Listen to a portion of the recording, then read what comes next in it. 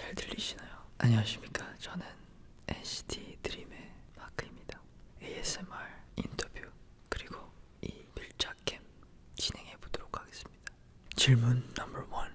스파이더맨이 된다면 가장 먼저 할 일은 무엇인가요?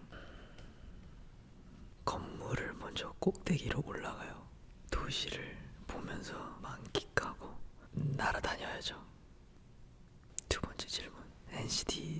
최애 멤버는 사실 저는 맨날